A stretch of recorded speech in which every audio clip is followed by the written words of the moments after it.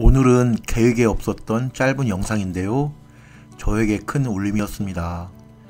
얼마 전에 성북천길 걷게 되었는데 우연히 천변 벽화에 쓰인 글을 보게 되었습니다. 4.19 순국선열 진영숙 보문동에 살며 한성여중 2학년에 재학 중이던 진영숙은 1960년 4.19 혁명 당시 어머님께 드리는 편지를 남기고 거리로 나갔다. 시위버스에서 구호를 외치다 미아리 고개에서 경찰의 발포로 목숨을 잃었다.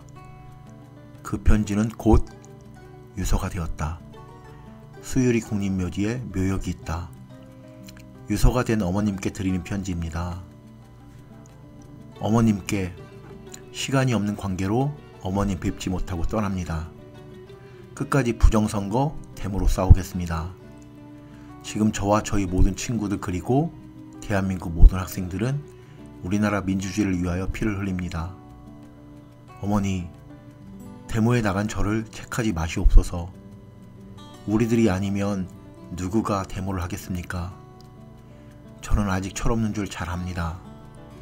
그러나 국가와 민족을 위하는 길이 어떻다는 것을 잘 알고 있습니다.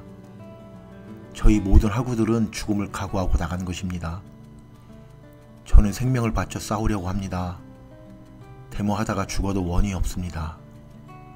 어머니는 저를 사랑하시는 마음으로 무척 비통하게 생각하시겠지만 온 결의의 앞날과 민족 해방을 위하여 기뻐해 주세요. 이미 저희 마음은 거리로 나가 있습니다. 너무도 조급하여 손이 잘 놀려지지 않는군요. 부디 몸 건강히 계세요. 거듭 말씀드리지만 저희 목숨은 이미 바치려고 결심하였습니다. 시간이 없는 관계상 이만 그치겠습니다. 4.19 혁명에 참여 희생된 고 진영숙의 편지 개인적으로 한국사에서 조선시대 인물이 가장 관심 끈데요. 현대사는 올릴 계획이 없었는데 진영숙님 알리고 싶었습니다. 감사합니다.